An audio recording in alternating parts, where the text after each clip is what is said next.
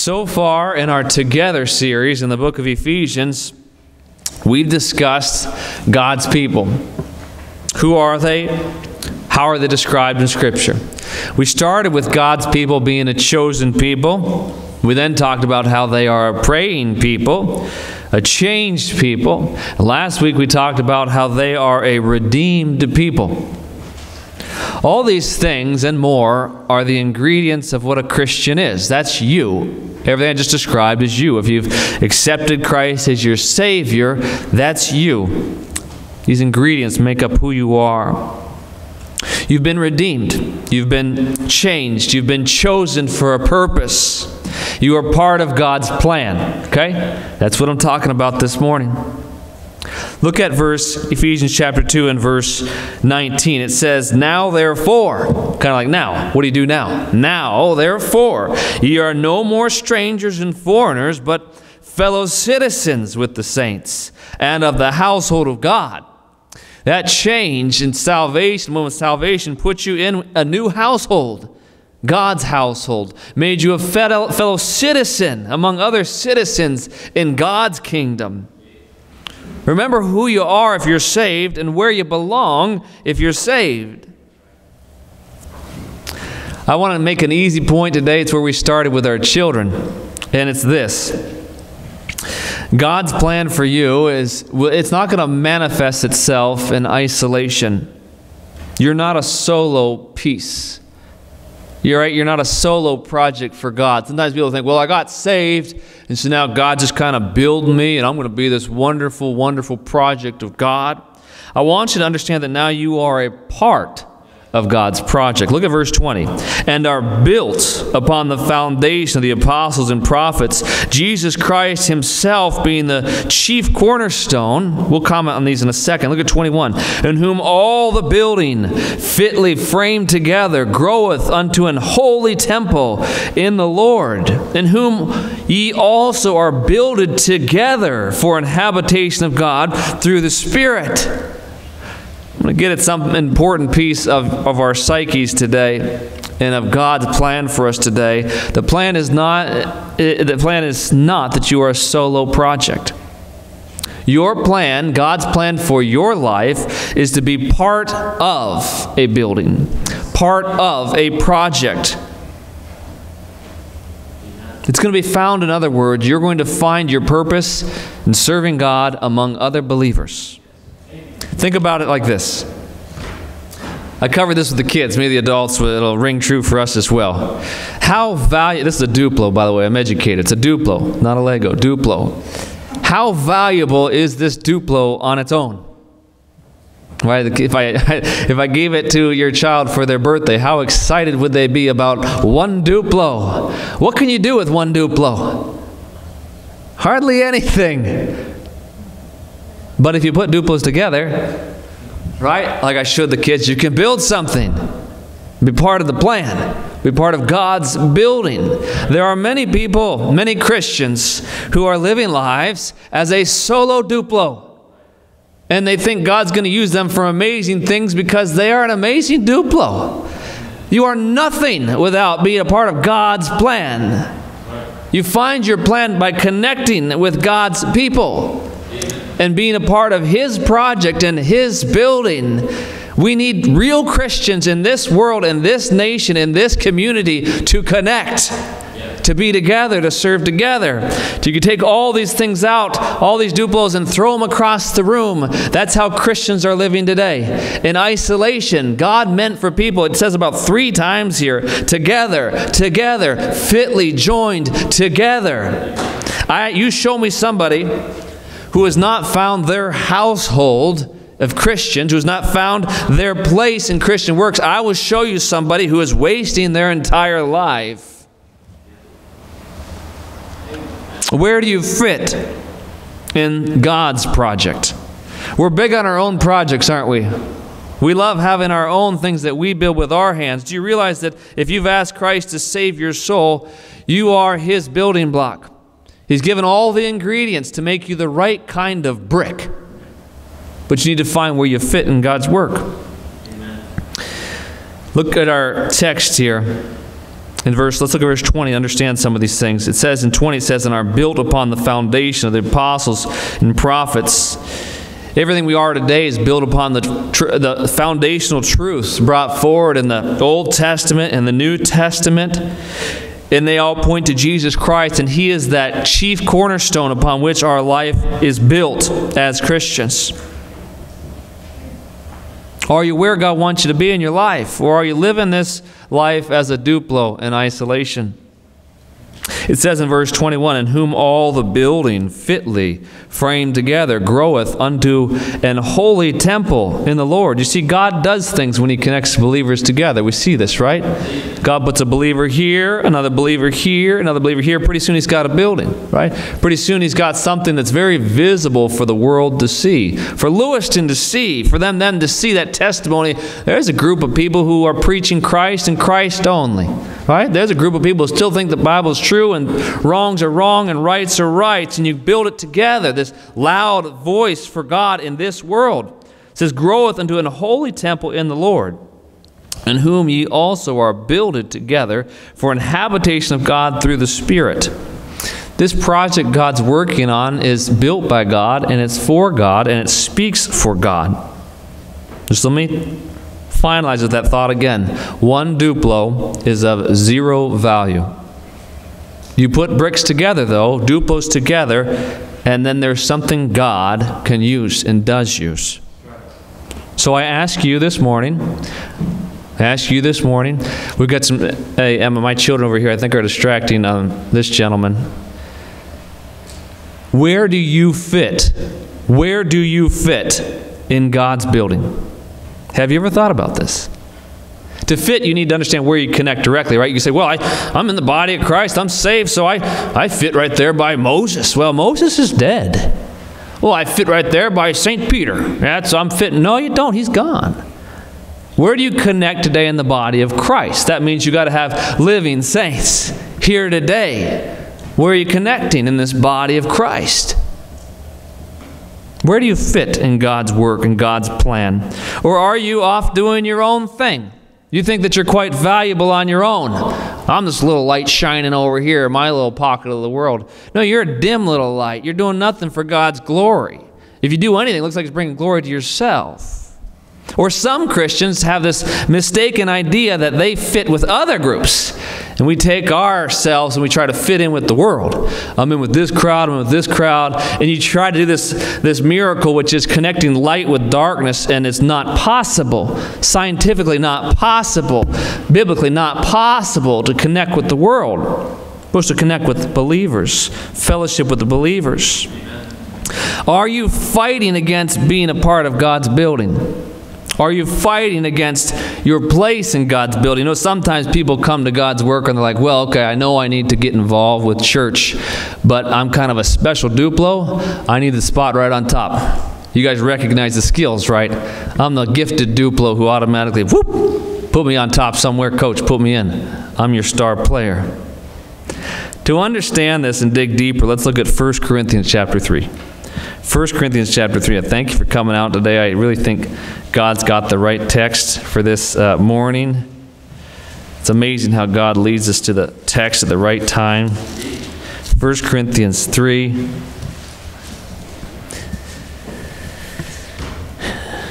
You know, that the fact that matters is, this man behind the pulpit, I love you. And I want, uh, I want you to serve God in your life. But I don't really matter. You've got a God, right? Who, if He paid for you with His blood, He wants you serving Him. We'll see some of what God expects from our lives in this passage, 1 Corinthians 3 and verse 9. Let's start at 9. Describes these blood bought Christians in really detailed terms. You say, Well, I'm, I'm saved, I'm set free, I'm free to live how I want. Think again. Look at 1 Corinthians 3 9. It says, For we are laborers together with God. Ye are God's husbandry. Ye are God's building. A lot of people in this world are really good workers when it comes to working for themselves, but really lazy when it comes to working for God. But you are, as a Christian, if you call yourself, who calls himself a Christian? A lot of hands out there. Then you are God's laborer. You know what that means? A worker. A laborer. And the simple definition from 1828 says one who labors in a toilsome occupation, one that requires little skill. Not only are we laborers for God, we're kind of the one who does the grunt work. We're not the brains of the operation. God's the brains of the operation, right? So we come just simply with our hands ready. Hey, where do you need me? Put me in, I'll do the work, right? I don't have all the ideas, I don't have all the answers, I don't have all the training. I'm here, I'm just willing to serve like a good labor would be, right? Big part of work is what? My dad taught me this. I like my dad. He's got some simple, simple sayings. One of them was always, you know, a big part of work. Like I'd work with him sometimes in the hardwood business. A big part of work is just showing up. So we get there on Monday. We showed up. We got the first step, and now let's start working. Right? We show up the next day. We show up. A big part of laboring is being present, being there. No projects were ever done in your absence. Well, unless you make somebody else do it. That's a nice way to live, isn't it? You win a lot of friends that way. No, we show up and we work. The key showing up, be there, be ready, work hard, volunteer. We know this in the world, don't we? You see this in the workplace. It's like, wow, that guy's really going places because he shows up, he's ready to volunteer for anything, he's ready to do the, the jobs that no one else wants to do. The world will take that person and he'll start getting promotion after promotion after promotion. He will. It just happens. People like good help, right? I've even noticed the world, even a Christian, the world might not like Christians, but if a Christian's hardworking, they'll like that, right? They'll like good help. Everybody does. Helps their bottom line. Well, God likes good help too. He likes people to say, I'm ready to serve. I don't know where to serve, but I'm ready to jump in. I, have got two able hands. I can do something. God will give you something. And He'll see you be faithful there, and He'll give you something else. Show up and be a laborer. I think some people are waiting to serve God, wait until God recognizes their credentials. You know, I have a PhD in laboring, so don't give me anything simple. Give me the brains of this operation. Look at that word husbandry. Husbandry. It means farmer. Farmer. I know farmers work hard. I know. I've known some, known some farmers. Uh, work hard tilling the ground, right? Or keeping track of whatever livestock they might have on that farm. Work hard. There are so many hardworking farmers in this world. They rise early, they work long, long hours, faithful to that work. Boy, it's great. But I'll tell you what, we need all believers, including believing farmers, to work that hard for the things of the Lord. We, it's more important. You understand that a farmer's harvest, we talk about the farmer's harvest. It's important. We, the world needs to eat, and we hear that, right? You thank a farmer, thank a farmer, thank a farmer. That's great. I'll thank a farmer. That's good. But I tell you what, there's even a more important harvest than food we eat, and that's God's harvest. That's souls, right? That's souls. That's seeds being planted in hearts. Those seeds being watered, right? By further witness, right? God's field of harvest is the most important thing. Souls going to heaven or hell are more important than your fruits and vegetables, more important than your pig, more important than your cow. I'm going to get a lot of farmer flack today, aren't I? Farmer's going to hate me for this. I'm just saying the obvious thing that work hard, right? And take that working hard into something that matters more than anything else, and that's serving God. Take that. Don't be lazy one place and hard work in the other. That's called hypocrisy. That's called, I know you can work. I know you can get up and get there. I know people who are faithful who have never missed a day of work, right? Hardly, they hardly even get sick. They're just there every single day. You know what that tells me? They could probably make it to church. They probably could. They could probably work hard enough to carve out the time to get there and be faithful there. It would probably be an amazing thing for them and their lives, their family, and the work that God's doing in the community. Hard work. Hard work. Look, it says in the last part of the verse, it says, Ye are God's building. God's building. You are God's building block. Think of that. You're going to leave the service knowing that I gave you a wonderful compliment that you are a brick. Right? Pastor thinks we're dumb as bricks around here. Well, I don't think you're dumb. I just mean, but we're part of the building, right? We are, this, this guy right here, I'm a brick. Right? God's going to just put me in His building where He wants me, right? That's it. And He's going to take you to do the same thing. Where is this guy? Where is this person? Where's this girl, uh, boy, right? Woman, man, where do they fit in my plan, what I'm doing? Let me give you some verses that prove this. Let me read some for you. Romans 12 says this. Romans 12, 1, it says, Present your bodies a living sacrifice. You know this one, right? Holy, acceptable unto God, which is your reasonable service. Say, Logan, that sermon you gave was unreasonable. There ain't no way I can be faithful in church. There ain't no way I can faithfully serve God. No way I can faithfully be reading my Bible. No way I can be faithfully witnessing to others. It is your reasonable, reasonable right? That's like at work when, when you know, the boss says, you know, I'm going to want you to work eight to five, or, you know, I'm going to want you to work eight hours a day. Some people are like, oh my goodness, they want me to work eight hours a day. That's unreasonable. No, it's actually quite reasonable. It's okay. Reasonable. God's like, I just want you to, you know, show up. Be faithful in church, you know, be faithful with your kids reading the Bible. Be faithful trying to apply the principles of Scripture.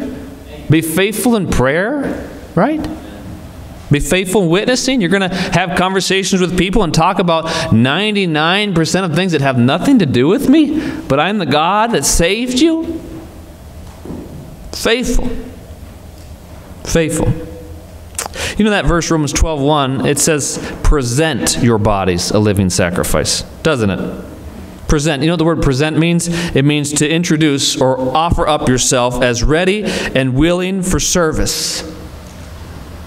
You can present yourself. I'm here. I'm ready. This is me. God, I'm Logan, and I'm ready to serve you. Don't know how, but I'm ready. I'm willing to serve you. You know what it is that verse describes? It, it describes it as a decision, as an announcement, a declaration. Lord, I'm here, ready to serve you. It's kind of like when you ask God to save you. Like, Lord, I'm here, please save me. And He heard that prayer. You know, a decision to serve God is not going to save you, it's a different thing but it's still a decision. And people do need to make such a decision. Now, don't get confused. Some people are like, well, Lord, I'm going to sign up to serve you so that I can get saved. That's not what I'm saying. But you should say, Lord, you saved me, and so I'm here to serve you. I'm ready. I'm ready to go. Put me in, coach. It's a declaration. Have you ever made such a decision? It might scare some of you. Like, what if I actually prayed that? What if this morning I actually prayed, Lord, I want my life to be used for you? That's what I want. No matter what happens. Lord, I want to serve you. I want to find a way to serve you right now. Not 10 years from now, not 20 years from now. I want to find a way to serve you today. Lord, I want to find my place in that building today. You know, I want to tell you something. If you prayed that prayer this morning, God would hear it.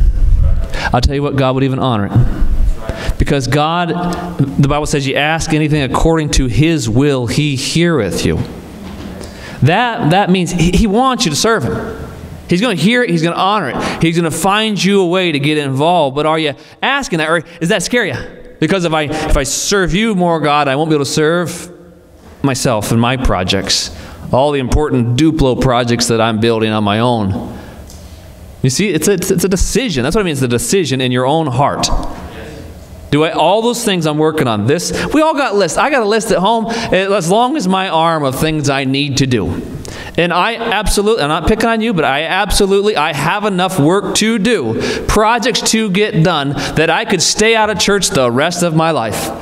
There's, and you're like me. There's things you could do this morning, right? I got projects on the house that need fixed, right? I got things I could be getting ahead in my secular job for right? Health things I could work on, or just uh, books. I'm writing books. I can use this time for book. I got things you do too.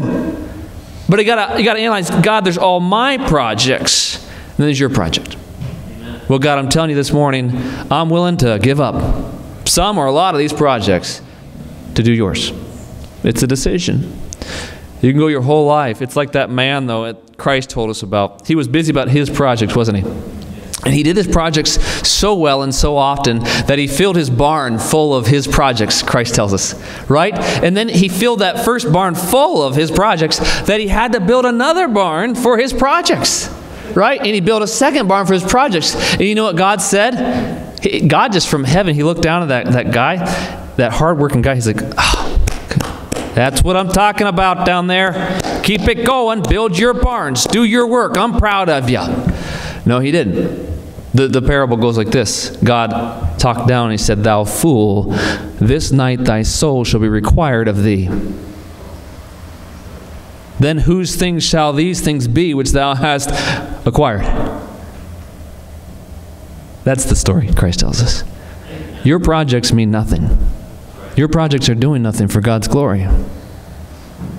So the decision may be hard, but think a little deeper. Think beyond what you see. The Bible tells us life is more than raiment, life is more than what you see, right? Life is all about what you can't see. Things you can't see, think about that. What can you not see? This, uh, the book, the truths in this book, the eternal truths, you can't see all these. You can't see your children's souls, but boy, they matter more than your barn.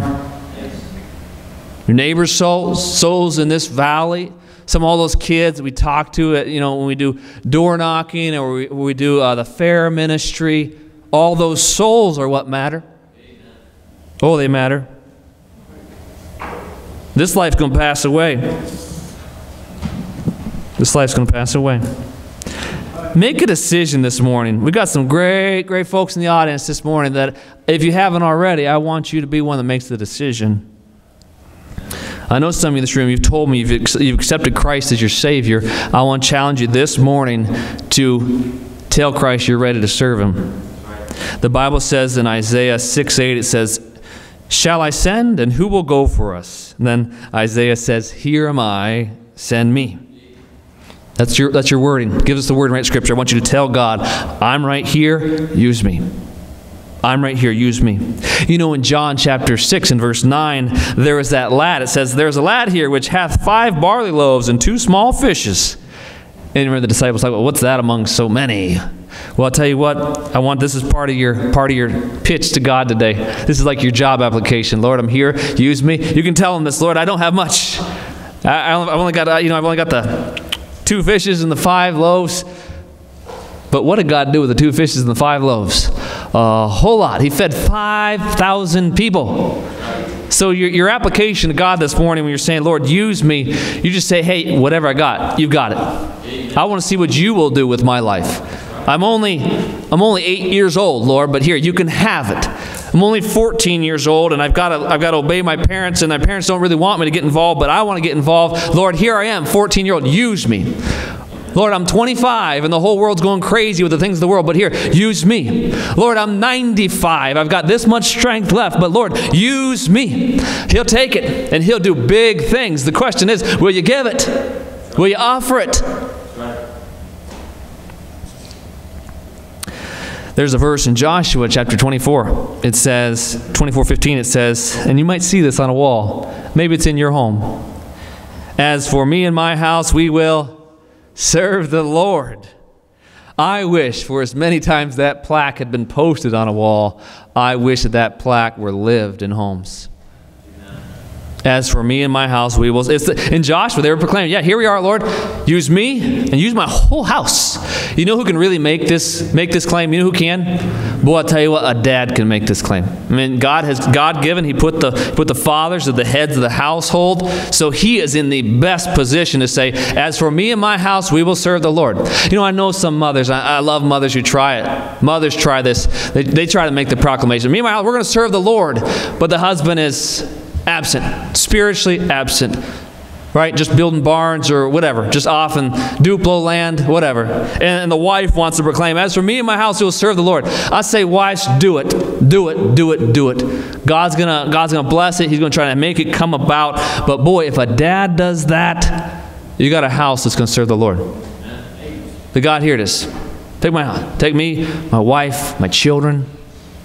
Let us use our house right? All the time, energy, right? Talent, things that you've given our house. Lord, use it for you. Not for not just for us. Not for me building my legacy or for me just building bigger barns or me building my own reputation. It's Lord, use me for you. Oh, I want dads to make that decision this morning. Oh, I want them to lead the charge. And my wife and I were making or we were we were just watching these videos. She showed me this video, this study that came out, and it just ring true what we know in Scripture. But it was talking about how important the father is for children, and it's true even even across all all all peoples and nations. Children do look to their fathers. They absolutely do. And it was the study was, you know, even if the father is a, you know, whatever, and whatever terrible sins or terrible lifestyle, the children still look to the father for leadership and direction. It doesn't matter, boy, girl, they're still looking to the dads. Ready for direction there from dad. Oh boy, there's a lot of responsibility as fathers. A lot of responsibility. In 1 Samuel 1:28, Hannah, speaking of a mother, Hannah said, "Therefore also I have lent him to the Lord; as long as he liveth, he shall be to the Lord." And uh, he worshiped the Lord there. Remember that mother who gave her son to the service of the Lord? That woman's quite an inspiration, isn't she? She said, Lord, here is my son. Use him. Well, that's a good mom. That's a good son. All the days of his life, Lord, use him. You know what I believe? I believe there's supposed to be a lot more Samuels today. But we don't have Samuels using their whole lives for the Lord. We don't have that because didn't have the mom that he was supposed to have. Didn't have the dad that he was supposed to have. Boy, parents, if you're not ready to offer up your own life, ready, right? Offer up your house. Say, Lord, here's my kid, and he's yours to serve you. We're doing our children a great disservice. I, I absolutely want to set my kids up. Say, Lord, here are my kids, Lord. I'm going to try to raise them in the Bible as best I can because they're yours. They're yours. And I want them to fulfill your calling. Right? I'm going to teach them more than just how to, how to whatever, uh, mow the lawn. Teach them more than just how to make a clean house. Teach them more how to then win friends. Lord, I'm going to teach them the scriptures because they're going to be your mouthpiece. Boy, adults, do we have any sense of this? These decisions to live for the Lord, have our children fulfill their role in God's building. We all look around our world, don't we, our nation, with some a lot of disdain. Where did our world go wrong? It's just crazy the things you see in our world today. All these broken homes and broken communities, and um, boy, you've got just cities wholly gone into garbage and states gone into garbage. And people argue about it, it seems like they've got no clue what's right or what's wrong anymore. You know where America went wrong? That right there. Christian parents not serious about serving the Lord. Christian parents not serious about raising their kids in the things of the Lord. That's where we went wrong. If you're not there, I want to tell you, you're not the answer for the world, you're the problem in the world.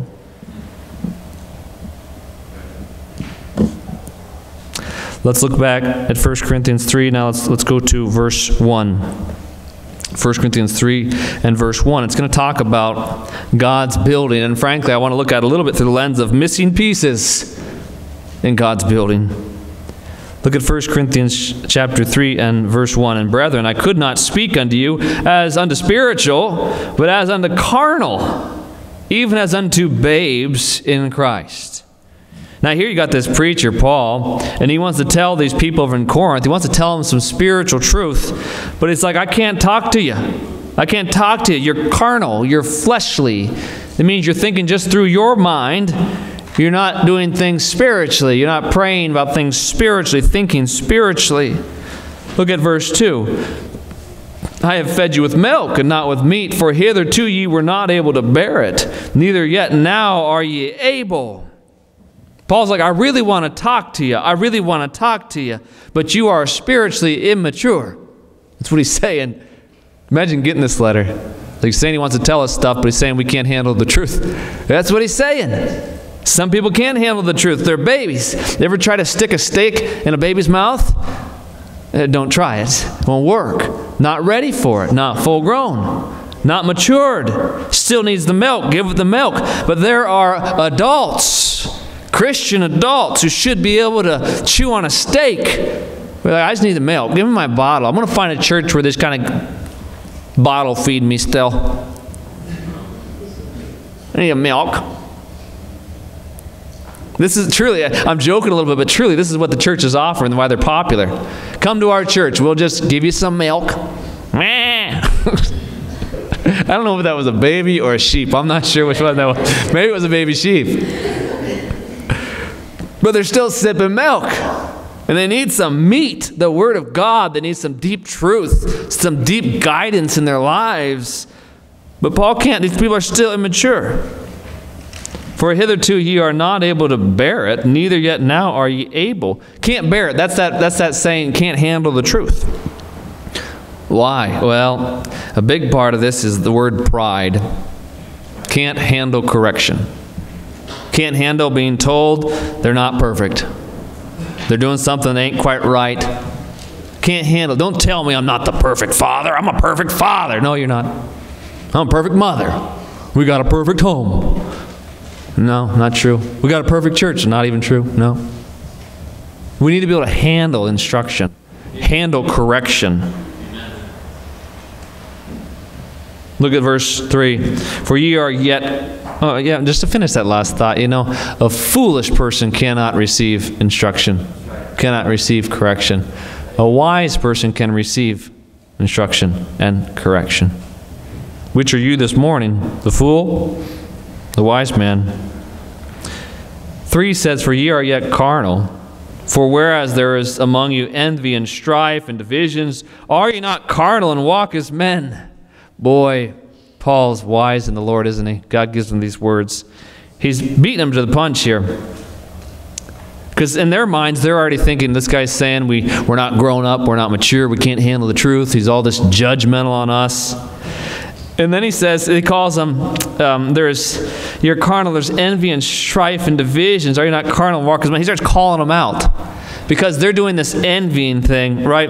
Envying is this idea of like measuring up to other people. Well, I'm better than these other people, and I'm better than those people, right? Right. And I'm better than that person delivering the message, too. That's where their minds are going, this prideful thought of, we don't need to listen to Paul. We don't need to listen to anybody, right? We're ourselves. We're a shining Duplo full of magical power, building great big barns. Good for nothing envy and strife and divisions. People can't handle the truth. They begin to build arguments in their head, like right at the same time they're hearing truth. Have you ever been there?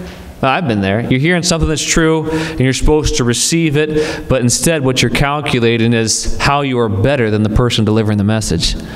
I'm certainly better in that way. Yep, that's another good reason. Yep, I'm better there too. That's another reason why I shouldn't listen.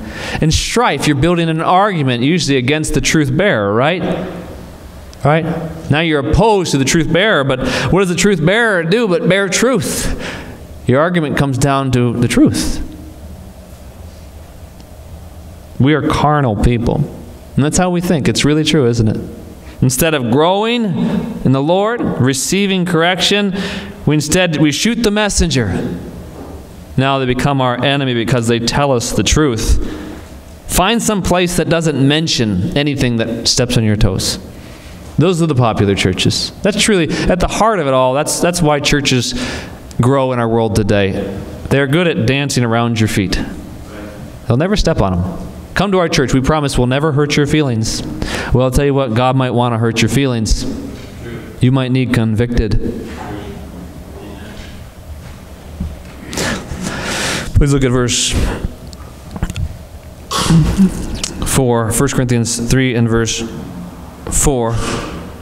For while one saith, I am of Paul, and another, I am of Apollos, are ye not carnal? Who then is Paul and who is Apollos but ministers by whom you believed, even as the Lord gave to every man? I love this passage. It's, it's so it's so it's such a guide to how we're supposed to view this world. People are infatuated with men. You know that? Men. Who's your pastor? Who taught you? Who do you follow? Who are you following on YouTube? Who do you listen to? Well, are you following Christ or not? That's what Paul's saying here. If for these people, it's all about, well, who led you to the Lord? Did Paul lead you to the Lord? Okay, well, then you're serving Paul. Well, if Apollos lead you to the Lord, then you better serve Apollos, okay? No. You follow Christ. You find ministers who are trying to get this achieved. Everybody, look at me, look at me, look at me, follow me. They're, they're, they're not fulfilling the, this text. It's about Christ. It's the Lord. It's the Lord that does the work. People like being all about men because they want people to be about them too. Right? Honor men. And while you're at it, honor me too. Who do you follow? Who do you listen to? I hope you're following and listening to God. If you found a church that preaches God's word, good. You found a church that just toots its own horn, that's not a good place to learn and grow. It might appeal to your flesh, though. Look at verse 6. I have planted, Apollos watered, but God gave the increase. God does the work. Let's keep in sight what really matters, what God is building, what God is doing. Well, are you treating other men right? Are you giving other men the honor they deserve? I'll tell you what, we are all sinners saved by grace. I'm not going to spend my life praising men, and I hope you don't either. Look at verse people who make such arguments are people who love men more than they love God. Look at 7. So then, neither is he that planteth anything, neither he that watereth is anything. You see, in this thing, the wonderful thing about God's plan for building is that the, the Duplos come and they're part of something so much bigger than them. And it's not about them. But God's work is getting done, and they're not getting glory because they're not right sticking out here, there, pointing to themselves. And God gives this increase in the job. Look at eight. Now he that planteth and he that watereth are one, and every man shall receive his own reward according to his own labor. There's a picture here of work, though, isn't there? Of working for God. Talking this morning about God's building, we're talking about building for God also. Think about this in the context of Paul and Apollos. Well, it's not about them, but just think about what they are doing and how you should be doing it planting and watering. Right? That's the Word of God going out, out of their mouths, from their little Duplo lives. The Word of God going out. They're leading souls to the Lord. That's what it's talking about here planting and watering. This is part of the work. This is the laboring. This is the husbandry leading souls to the Lord. Proverbs 11:30 says, "He that winneth souls is wise." It talks about here rewards, spiritual rewards for laboring for God. Mark 16:15 tells us to go into the world and preach the gospel to every creature. Our job, that's, that's what we're talking about. Laboring for the Lord is going to revolve around the sharing of the scriptures. Just so we're clear, right? So, don't give me the cop out answer and say, well, my second barn that's building bigger, you know, it's all about telling people about Jesus. No, it's not. It's just a big barn that you like because you like stuff. You like looking successful. God's work involves the Bible going forth from your life into this world. Right? And God gives us a lot of ways to achieve this. This is why as you plug into your place and connect with, with the place that you're supposed to be, all of a sudden you're part of a team, right?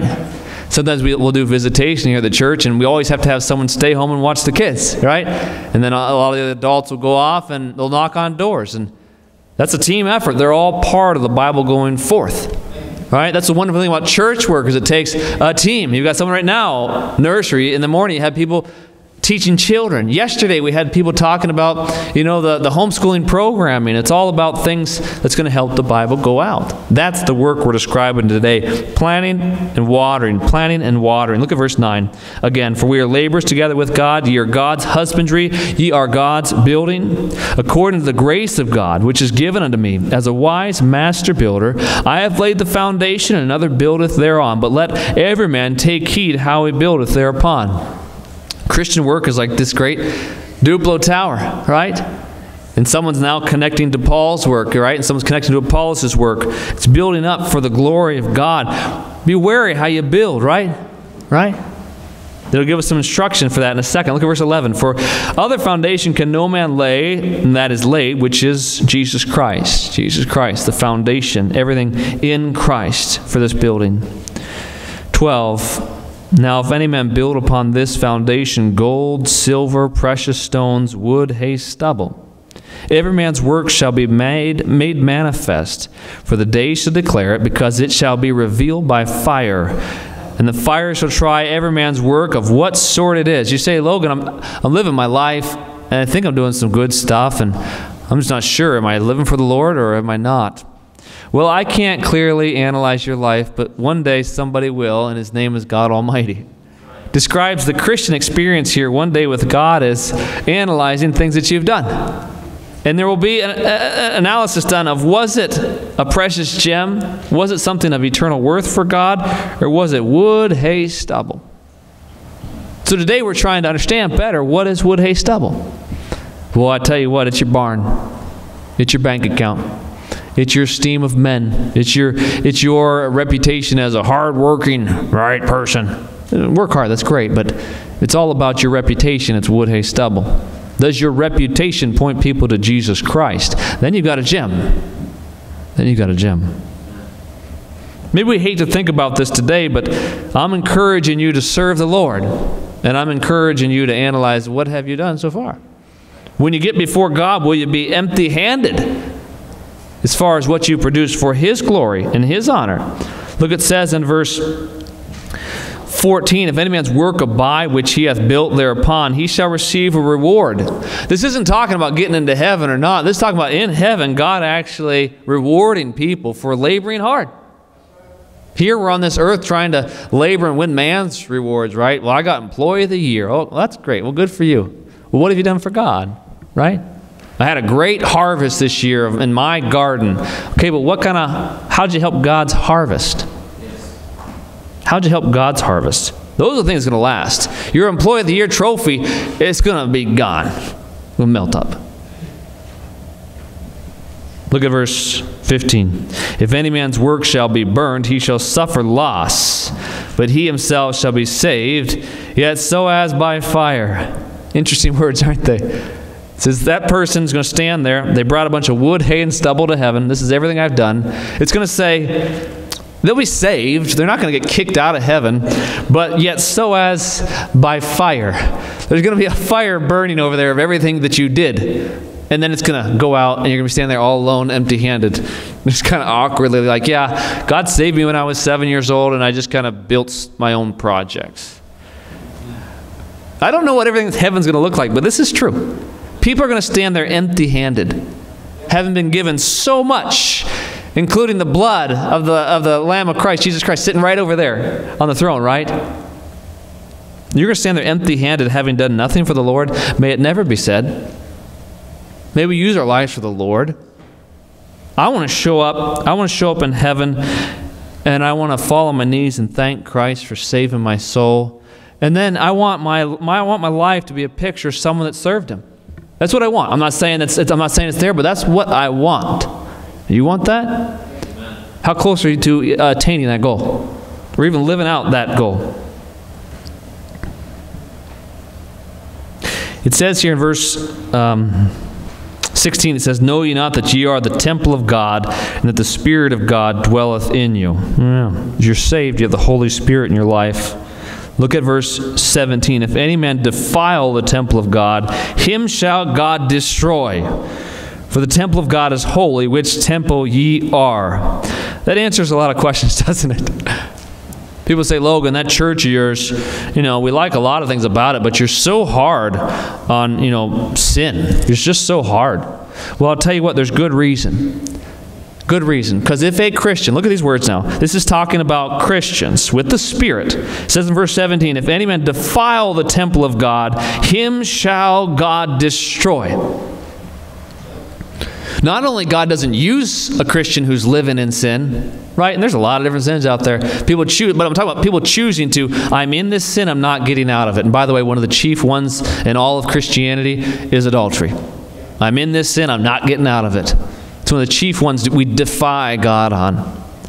But if that's you, not only is God not going to use you as a Christian, you read those words Him shall God destroy. I'll just let you chew on those. I won't elaborate. But the Bible teaches us clearly that God does chastise in this world because He wants Christians to serve Him, not themselves. He wants Christians to serve Him, not sin. That's enough for there for every Christian to sit up tall and fear God and say, I'm not going to be going into sin and staying in sin.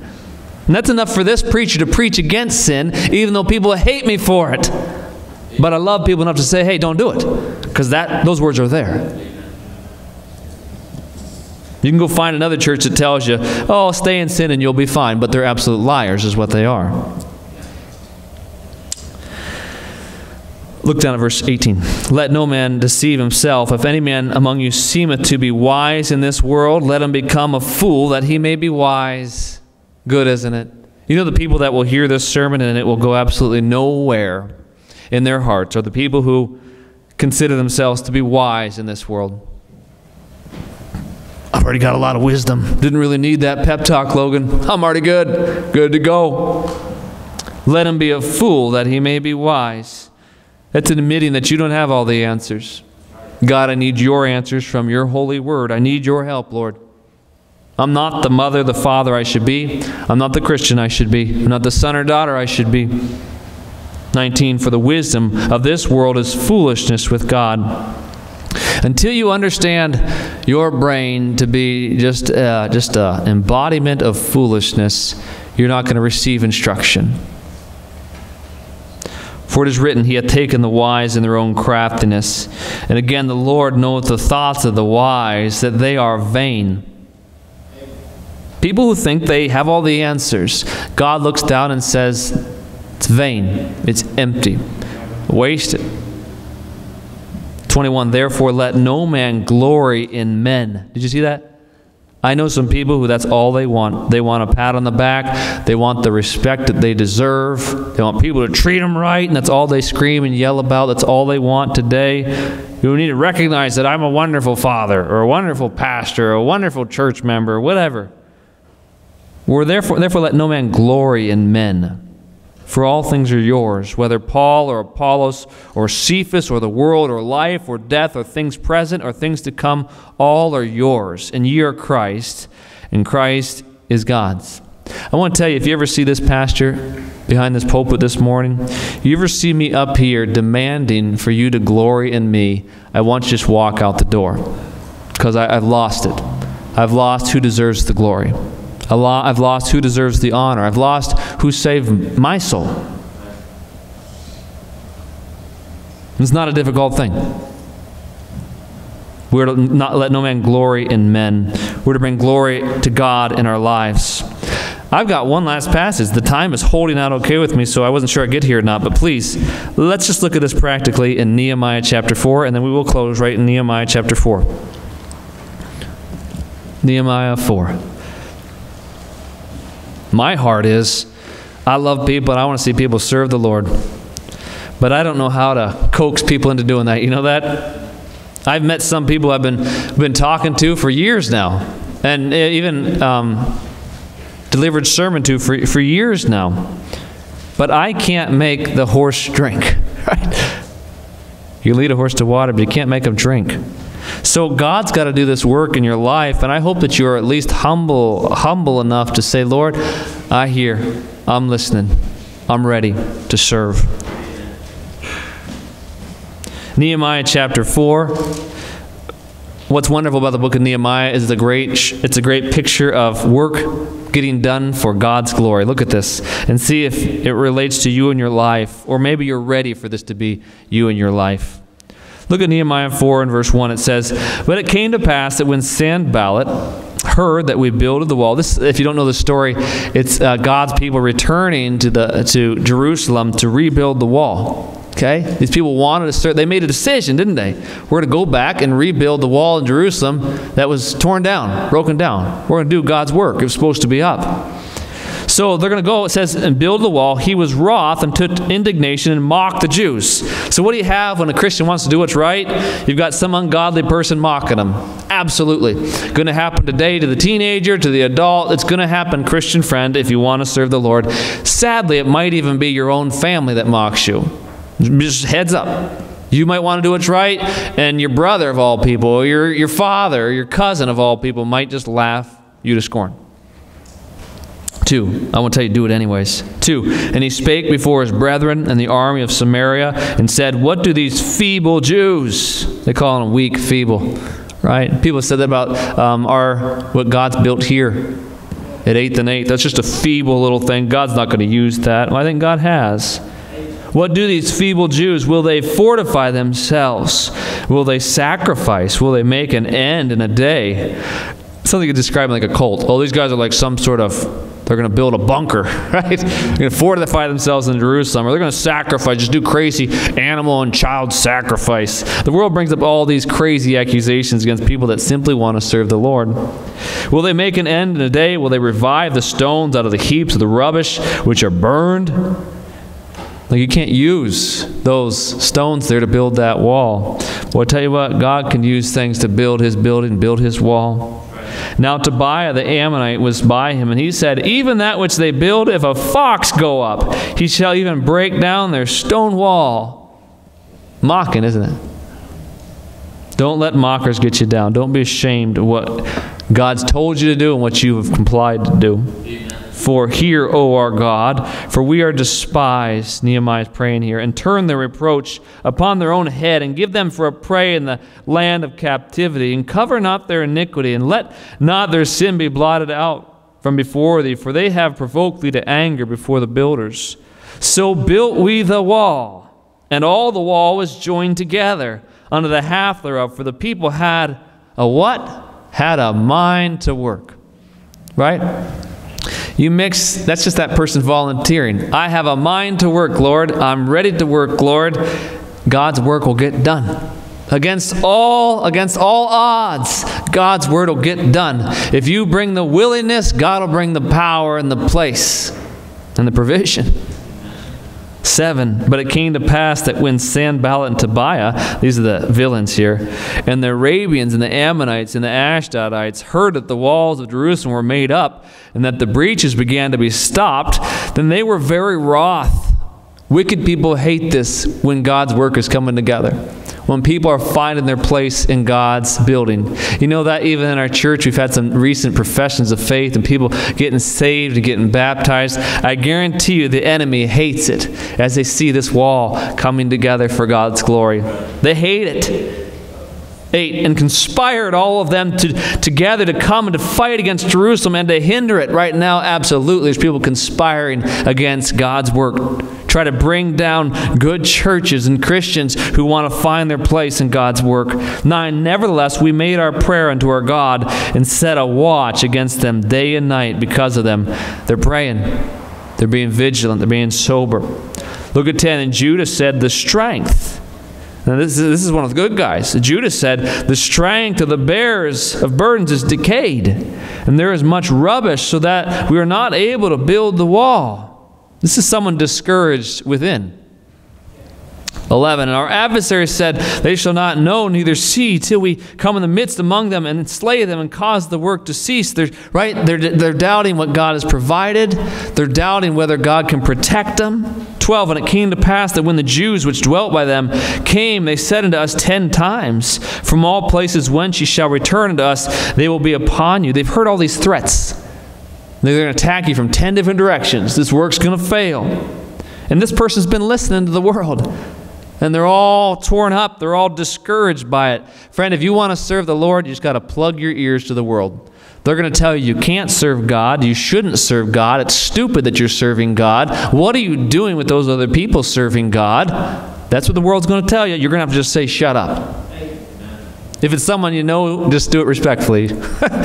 Please shut up.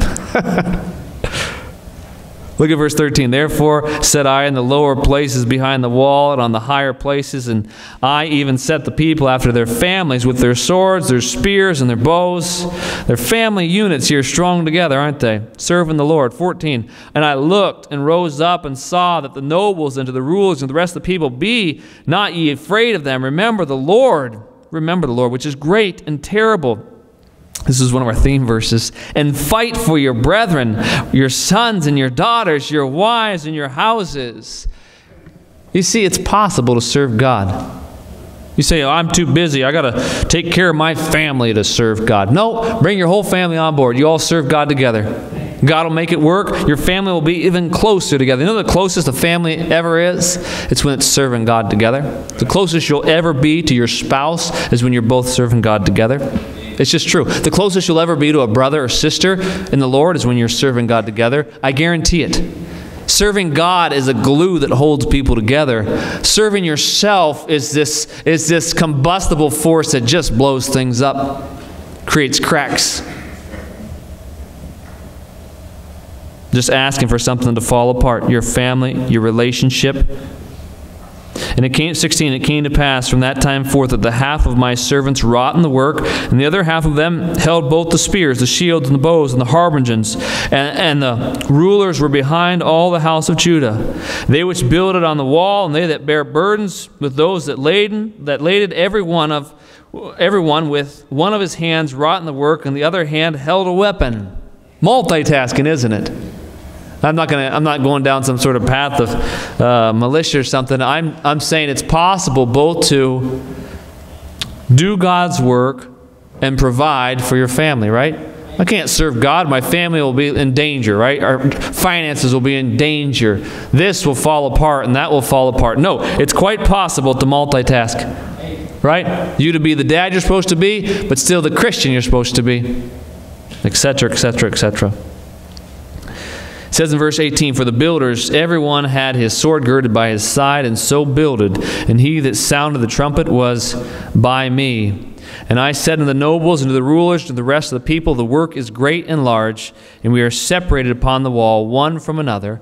In what place, therefore, ye hear the sound of the trumpet, ye re- resort ye thither unto us, our God shall fight for us. So we labored in the work, and half of them held the spears from the rising of the morning till the stars appeared. There's work getting done here. God's work is going forward. But all these people needed to have a livelihood. All these people needed to take care of their families.